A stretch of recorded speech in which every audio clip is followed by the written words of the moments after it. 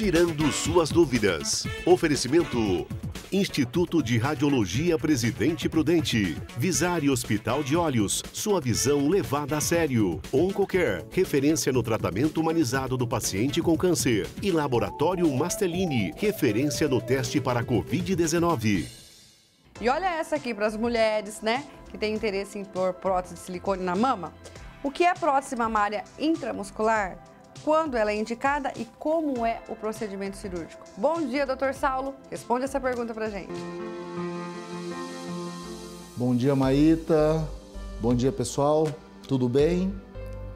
É... Pessoal, é o seguinte, quanto à prótese, a localização em que ela fica, ela vai ser implantada, ela pode ser subglandular, certo? Quando ela fica atrás da mama, mas na frente do músculo e da fáscia, ela pode ser subfacial, onde ela fica atrás da fáscia poneurótica e na frente do músculo, certo? Ou ela pode ser submuscular, certo? Ela é, que ela ficaria atrás do músculo.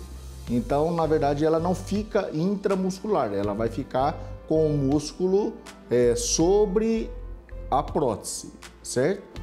Então, a indicação da prótese é, submuscular é quando o paciente tem um tecido glandular, principalmente no polo superior, muito adelgaçado. Se for me, é, com menos de 2,5 centímetros de espessura, é necessário que se acrescente outro é, plano além do tecido glandular. A prótese não pode ficar logo debaixo da pele, porque se, é, quando ela fica logo debaixo da pele e existe com o tempo a formação de uma ondulação, do rippling, de algumas dobras, e isso faz com que a prótese fique palpável ou até mesmo visível.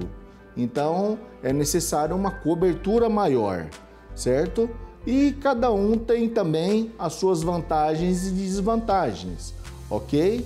Quando ela é colocada também no plano subglandular ou no plano é, subfacial e há uma contratura é, capsular, também nós mudamos de plano e colocamos é, no plano submuscular, ok? Então essas duas situações elas é, indicam uma mudança de plano para a opção do plano submuscular.